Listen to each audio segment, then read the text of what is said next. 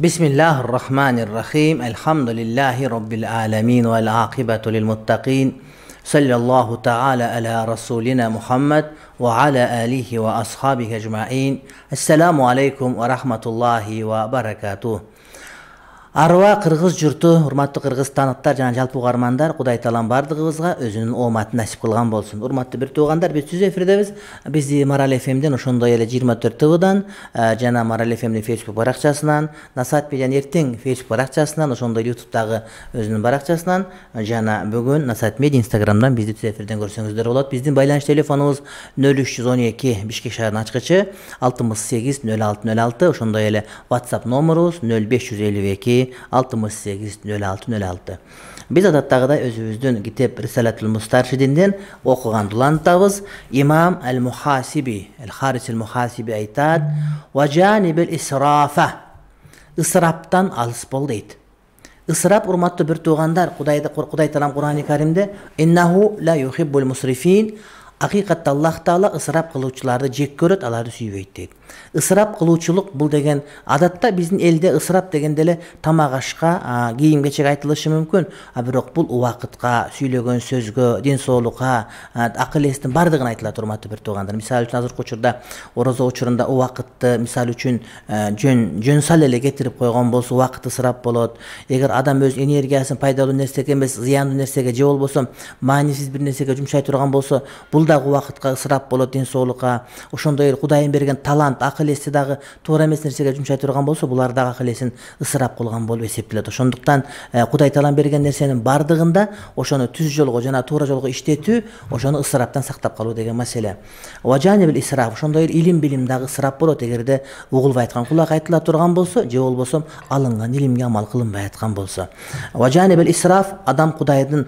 кулу болуп кудайга жакшы сүйүктүү пенде болуп кудайдын махабатына арзыгысы келген адам исраф ысыраптан алыс бол деген осуятты бекем карманат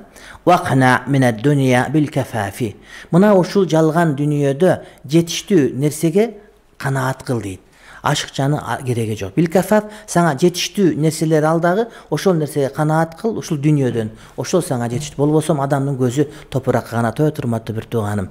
адам билесизби студент болуп жатакан жашап жүргөндө бир бөлмөлүү үйүм болсо деле ошол болот болчу мага дейт эртең менен нан алып кечинде жарымын жеп жатып алам дейт же болбосо конокко бир новостройкага барса элдердин үйлөрүн көрүп мен ушул жерде бир эки метрге төрт метр болгон кичинекей бөлмөм болсо болот эле ошол дегенди айтат урматтуу бир тууганым же башка бирөөбүздүн баардыгыбызда ушундай үмүт болгон менде дейт бир костюмчум болгон болсо жакшы ошону тойго кийип барат элем дегендер бар ал эмес өмүрүндө бир эле туфлим болгон болсо мен бактылуу болот элем деп андан башка бакыты калбай калган адамдар дагы бар да ошон үчүн жанагы айтылган минимализм. Адам эң аз нерсеге канаат кылып жашай турган болсо ошол канааттануу адам албетте урматтуу бир туугандар бактылуу берекелүү болот. Чыныгы мусулманчылык. Мусулманчылыктын рухунда мусулманчылык маданиятта азга канаат кылып ошол дүйнөдөгү аз нерсеге канаат кылып жашоо адамдын бактылуу болуусун шарттай турган болот болбосо адам көп байлык болгондо ага кароочу болуп кээде билесизби ысык салган кетип атканда билесизби тоокторго жемди ким берет огородду ким карайт үйдү ким карап отурат итке тамакты ким берет деп олтуруп үй бүлө мүчөлөрүнүн бири көлгө барбай калат же ошону менен эс алуу бүтүп калат анткени ошол иттин ырыскысы үчүн тооктуку же болбосо астындагы огороддогу огород помидорду караш үчүн же болбосо өзүңүз жашайм мага кызмат кылат деген үйгө өзүңүз кызмат кылып эс алуудан кур жалак калып калганыңыз эсиңизден чыга элек болсо керек. Ошондуктан урматтуу бир туугандар биз адам баласы жей турган нерсебиз белгилүү кээ турганыбыз белгилүү ошондуктан аз нерсеге канаат кыла турган болсок каниеттенip жашай турган болсок анда биз бактылуу болобуз. Азыр мына ушул акыйкатты европалыктар батыштагылар үйрөнүштү булар азыр үй салышпайт булар үйдү арендага алышат дагы ичиндеги бир дагы буюмду толтуруп олтурушпайт анткени булар тапкан акчасын эс алышат ырахаттанышат. Эми албетте бакыт акыйкаттын жарымын тапкан а бирок жарымына дагы жетише элек ушинтип жүрүп отурса булар таба алат анткени эс алгандан деле жыргагандан деле чеги болот. А чыныгы ырахат түбөлүк ырахат бул кудайды таануу кудайга сыйынуу жана кудай тааламдын ибадаты менен жашоо деген сөз урматтуу бир туугандар. Бирок акыйкаттын экинчи жарымы биринчи жарымы айтып аткан бул ошол биздин өзүбүзгө керек маселе. Үй топтойбуз аты үй дейбиз. Анткени үйө бер деп айтабыз тиричилик деп туруп тирүү болгон болсоң эле кыймылдай бер деп айтат ошентип биз жаңы мебель алганга же болбосо үйдү оңдогонго салганга үйдү жакшы райондон алганга аракет кылып олтуруп кээде биз ошол дүйнөгө кул болуп калганды билбей калабыз өлгөндө гана ошону эс алганы кетебиз а бирок чыныгы мусулманчылык андай эмес бул дүйнө урматтуу бир тууганым үй салуу үчүн же тыйын топтоо үчүн же башка нерсе үчүн эмес балким кудай таалага ибадат кылуу үчүн жаралганбыз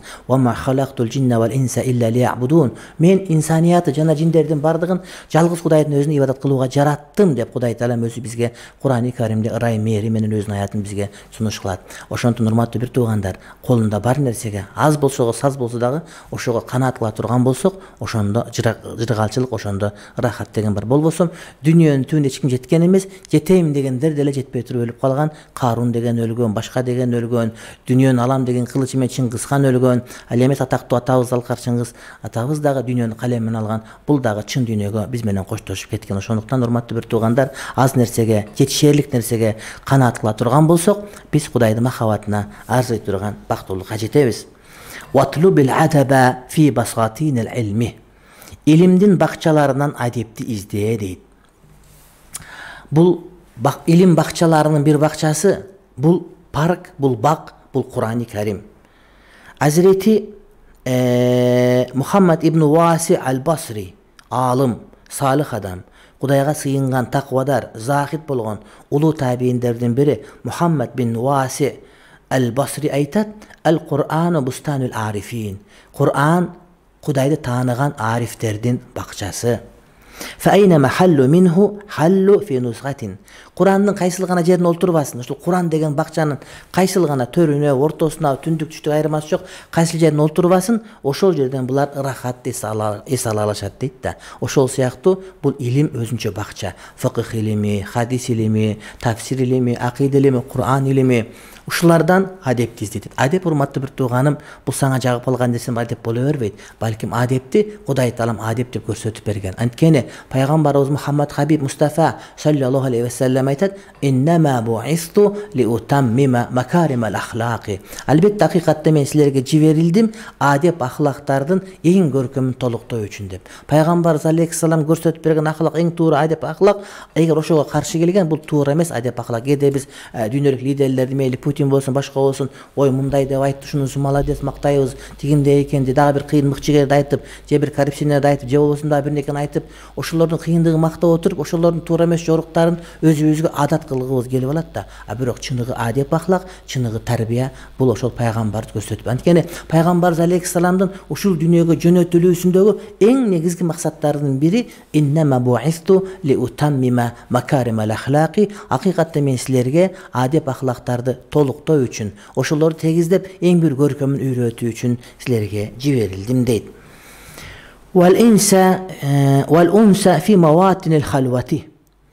эш деген түшүнүк бар адам жалгыздыктан эмес балким өзүнө эч туткусу келет унс деп коет урматтуу бир тууганым бул маватинел халва жалгыз калган убакытта кудайды өзүңө эч тут эшим бер деген сөз бар эш мухаммад деген сөз бар анан берди деген сөздөр бар бизде эшим деген бар эмне деген сөз бул деген инс айтор мен жалгыз эмесмин кудайым мага эш болот кудайым менен мен бирге болом деген сөз адам кудай менен биргеликти жалгыздыктан табат дейт адамдар менен жүргөндө аны менен каткырып муну менен күлүп анекдот сүйлөп ушак айтып жарымы жалган жарымы чын жарандардын көңүлүчүндө олтуруп адам кудайдан алыстап кетет ошон үчүн кудай менен эшти унс болгонду кудай менен чогуу болгонду жалгыздыктан изде дейт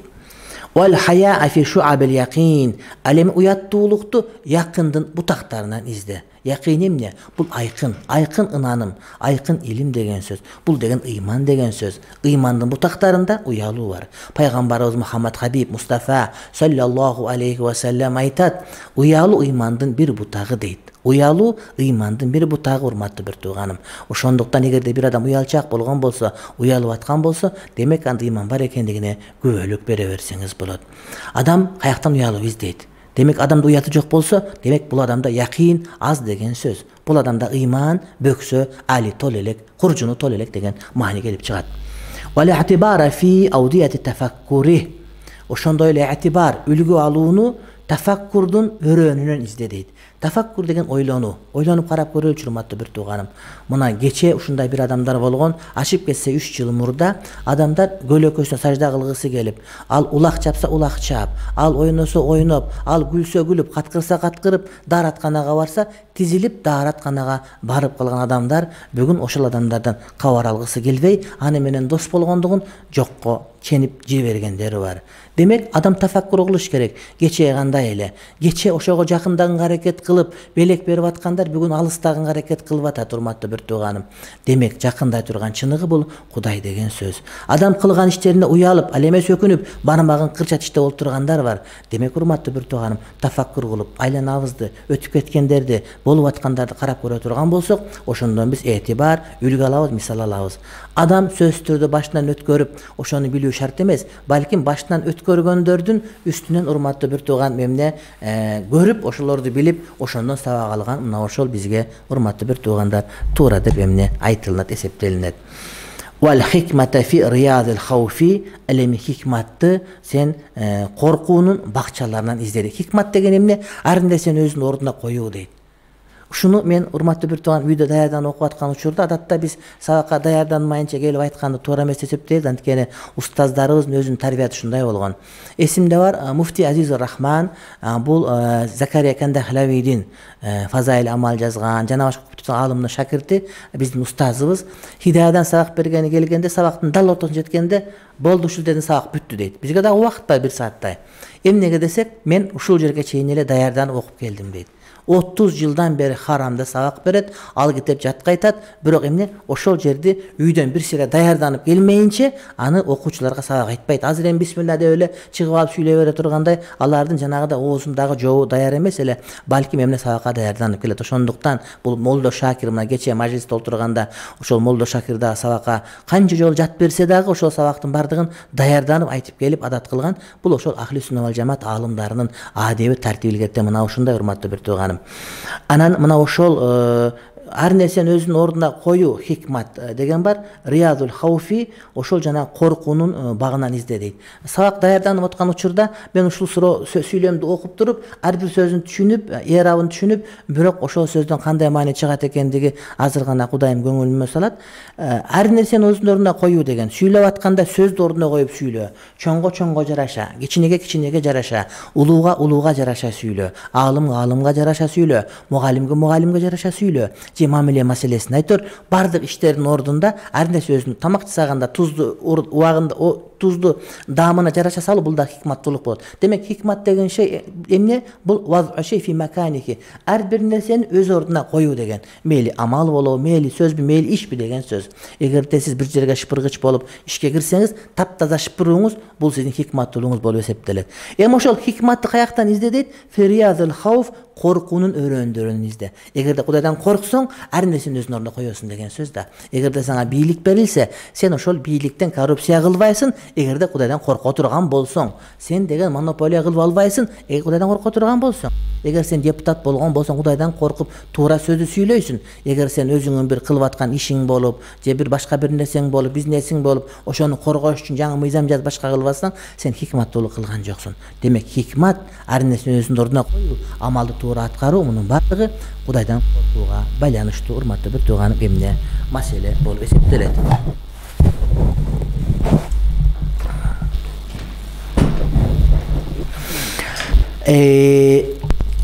وأعرف دوام إحسان الله إليك مع مخالفتك لأمره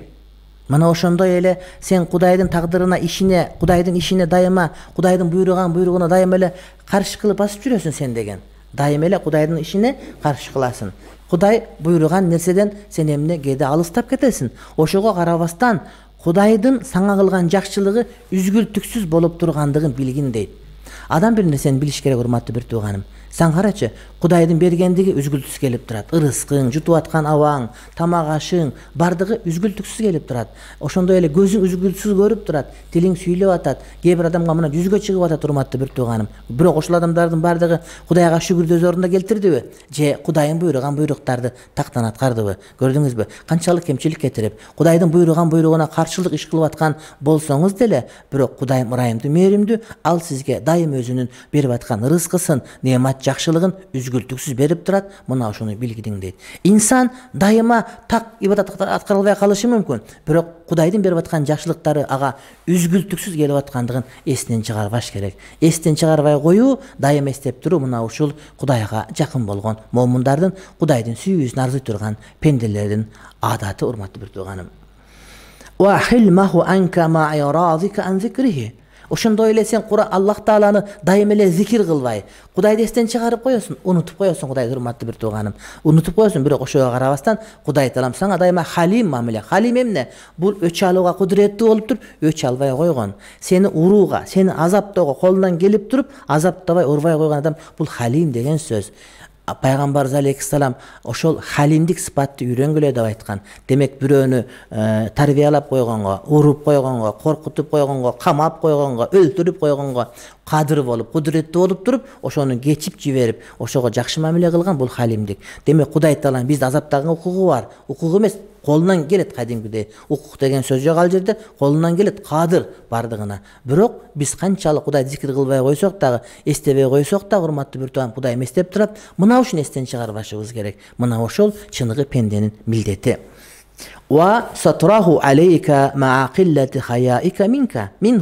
ошондой эле кудайдан аз уяласың уялбай коесуң кээде үйүңдө эч ким жок калган жерде жылаңач жүрүп аны сүйлөп буну сүйлөп интернетиңе кирип кеткенде элдин көзүнчө көрбөй турган нерсенин баардыгын көрүп жөндө жөн сүйлөп адабың же жалгыз калганда кол коюп коюп мамлекеттен акча уурдап же болбосо мына тесттеги жана алты миң сомдук кычкач дегендей башка ошого окшогон нерселер көп урматтуу бир тууганым ал эмес кудай сактасын мына мамлекеттен бөлүнүп аткан бюджеттерге да кээ бирлер жанагыдай азыраак нерсени кымбатыраакка сатып алыптыр магазинде мындай экен жана каймактар эле булар мынчага алып алыптыр дебайт ушулар бар ушулардын баардыгы урматтуу бир тууганым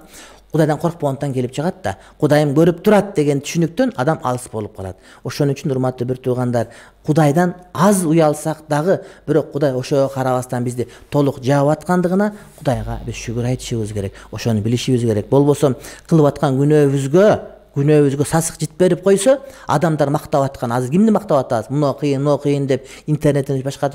а эң сасык ошолор болуп кетмек да биз такыба деп биз кыйын деп биз ишти кылып атат шаардын ишин облусттун ишин республиканын ишин кылып атат бүт баардыгы ушул кылып атат деген адамдарыбыз жаман иш кылып атканын билип калабыз такыба дегендерибиз таптакыр сасык болуп калганын көрүп калабыз да. Бирок ушулардын баардыгына кудай мүмкүнчүлүк берип бул тооба кылып алсын. Бул тооба кылган мүмкүнчүлүк алып алсын деп ошол күнөөлөрдү жаап жашырып койгондугун эстен чыгарбаш керек эгер элдер мактап аткан болсо сен чындап кыйын экенмин деп ойлобо билебиз кээ бирөөлөрдү ой мындай бул деген мындай деген менен бирок акыйкаты башкачараак аны кудайым жапты кээ бирөөгө ачып койгону менен бирок кудайым элге жаап койгону менен аны кудайым билип турат дегенди эстен чыгарбаш керек адам көкүрөк көөдөнүндө билиш керек кудай таалам мен канчалык аз уяттуу болсом дагы уятым жок болсо дагы кудай менин күнөөмдү жаап атат ошону билишим керек дейт демек биринчи билиш керек курани каримде билгиниң кудайым жалгыз андан башка ибадатка ылайыктуу зат жок деген аяттын мааниси мына ушуга урматтуу бир тууганым келип такалат. Азирети шейх абдулфаттах абу гудда китеп тахкик кылган адам айтат.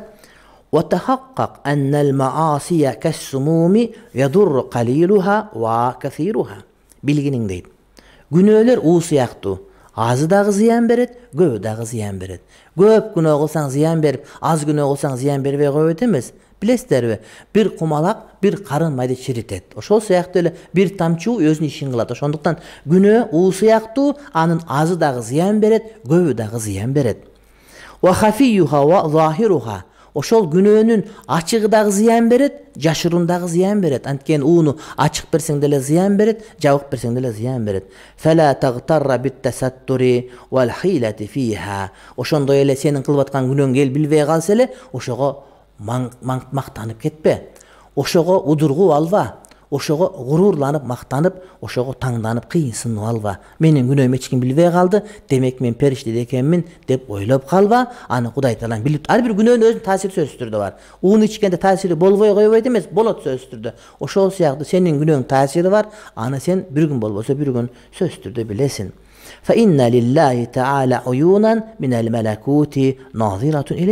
анткени бүт малакут бүтүндөй аалам космосто кудайдын канчалаган бизге койгон көздөрү бар ошол көздөр сени карап билип турат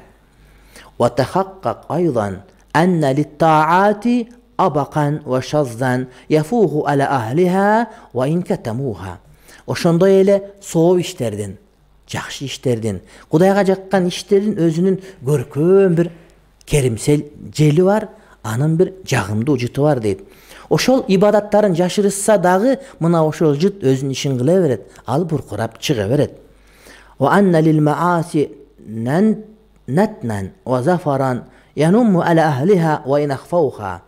мисалы үчүн дейт жанагы күнөөлөрдүн сасык жыты бар дейт аны ээлери канчалык жаап жашырып үстүнөн атыр коюп кремин койсо деле күнөөнүн жыты чыга бергендей эле дейт وإذا نزعت عن الغواية فليكن لله لا للناس فيكتب لك حسنة ошондой эле сен бир күнөөдөн сурулуп чыгып аткан болсоң ошол күнөөдөн чыгып атканың адамдар үчүн болбосун кудай үчүн болсун дейт кээде сен арак ичкен токтотосуң адамдардан уялып жок андай эмес сен кээде жылаңбаш жүрөсүң анан жоолук салынып баштайсың эмне үчүн адамдар үчүн деп жок анын баары туура эмес урматтуу бир тууганым адам качан туура болот ошол сен күнөөдөн чыгып бир күнөөнү таштаган учуруңда ошол нерсени кудай үчүн таштаган болсоң сага сооп берилет. Анан адамдар үчүн күнөө таштай турган болсоң анда сага сооп берилбейт урматтуу бир тууганым. Кээ бир адамдар айта берет бизге кээде мисалы үчүн ошол мисалы үчүн мечитке келгенде жоолук салынып кирбейб андай мындай туура жакшы болот бирок жоолук кудайдын ыраазылыгы үчүн салынат ошону биз эстен чыгарбашыбыз керек эстен чыгарбашыбыз керек азыр эми бир сөз айтып берсем балким бирөөгө жагат бирөөгө жакпайт. Бирок айтып коюу мен өзүм мындай айткым келип турат. Отунбаева роза исаковна апчебиз баарыбыз билебиз. Ар кандай деп жүрөбүз. Анан кандай болгон күндө дагы ошол киши убактылуу өкмөттүн башында турган учурда мен анда муфтий элем. Анан орозонун биринчи күнүндө ошол кишинин кабыл алуусунда болдук анан ал киши эми адатта ушул жылаңбаш жүрөт элечек да кийип жүрөт. Анан айтты ажеке дейт мага айтат мен анда муфтий мен дейт ошол сиздин алдыңызга барайын дедим дейт. Караңыз сөздү кара бул дипломатиябы же чындап ошондайбы бирок өтө туура сөз да мен дейт президент убактылуу өкмөттүн башчысы болуп турган адам мен ошол муфтиятка астыңызга барайын дегем рамазандын биринчи күнү деди а бирок ал жерге барган адам дейт карагыла жолук менен барыш керек. Мечитке барган адам узун этек кийип барыш керек. Мечиттин да урматы бар сыйы бар. А бирок мен адатта мындай жолук салынып жүрбөгөндүгү үчүн анан мындай бир жолукту ошол мечит үчүн жана сиз үчүн салынып барганды туура эмес көрдүм. Анткени мечит жолук эгерде салынса бул кудайын парз деген парызды билип салынган үчүн анан жоолук болот да. Ошон үчүн мен салынып барган жокмун дагы. Сизди ушул жака келип кетүүңүздү өтүндүм деди. Анан мен ичимден ыраазы болдум анткени чындап эле жоолук элге тийиш үчүн же бир адамдар адеп ахлак деп айтыш үчүн эмес балким кудай таалам парз деген үчүн салынат да урматтуу бир туугандар. Анан ошол эжекебиздин ушул маанини билгендигине абдан ыраазы болдум. Э, анан ошол э, жерде урматтуу бир туугандар эмне ошол маселе айтылынды. Анан э, экинчиден айтты мен менин уулум менен теңсиз баласы менен тең курубуз биз. Атам менен тең бул киши. Мен атам менен классташ болсо керек булар. Анан бирок ошого карабастан сиздин жолуңуз улуу деп ушинтип сөздөрдү айтты. Чындыгында ушундай акыл эстүү сөздөрдү айтууну ошол кудайым көңүлүнө салдуу болуш керек. Кудай таалам ошол роза эжекенин апасы намаз окуп жүргөн ушундай адам эле өзү дагы намаз окуп жоолук салынып калганды иншалла кудай таалам насип кылсын дейт элем анткени мына ушул сөздөр жөндөн жөн тилге чыга бербей турган. Албетте адамды жамандаган оңой дайыма жамандаган оңой. Адам кемчилик кетириши мүмкүн. Пайгамбар алейхисалам айтат инсан кемчилик кетирет бирок кемчилик кетиргендердин арасынан эң жакшысы бул тооба келтирген адам дейт ошондуктан тооба келтирет жоолук салып намаз окуйт апасындай болот деген үмүтүбүз терең ал мына ошондой дейт адам эгерде бир күнөөдөн алыстай турган арыла турган болсо кудай үчүн арылсын күнөөдөн дейт да аны адамдар үчүн болбосун адамдар эмне дейт аксакал болуп калдык эми эми намаз окубай жүрдүк эми намаз окуп баштайлык аксакал аксакал болуп калгандыгы үчүн эмес кудайым парз кылгандыгы үчүн намаз окулуш керек болот эл эмне дейт үчүн эмес балким кудайым эмне дейт деген үчүн намаз окуш керек дейт пайгамбарыбыз алейхисалам айтат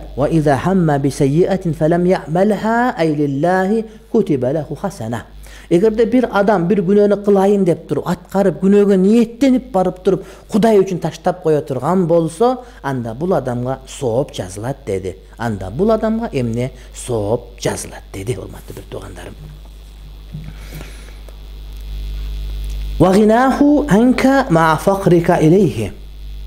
кудай таалам сага муктаж эмес сен кудайга муктажсың мына ушуну эсиңен чыгарба дейт сен канчалык кудайга муктажсың аны өзүң билесиң элдин баардыгы билет кудай кудайжан кудай деп айтабыз урматтуу бир тууганым биз кудайга муктажбыз бирок ошол учурда кудай биздин ибадатыбызга биздин сөзүбүзгө наныбызга берген зекетибизге эч нерсебизге муктаж эмес мына ушуну эстен чыгарбашыбыз керек.